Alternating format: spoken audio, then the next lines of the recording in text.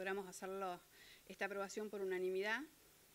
Si bien eh, prohibimos eh, la pirotecnia de estruendo exclusivamente, eh, bueno, seguiremos trabajando para, para, poder debatir otro tipo de pirotecnia, que este, sigue vigente en la provincia o sigue autorizada.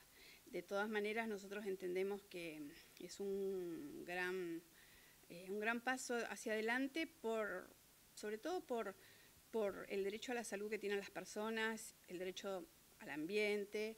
así que mi agradecimiento más grande es para las organizaciones, eh, sobre todo las organizaciones de papás, de niños TEA, del trastorno del espectro autista, que estuvieron peleando al lado mío por esta ley.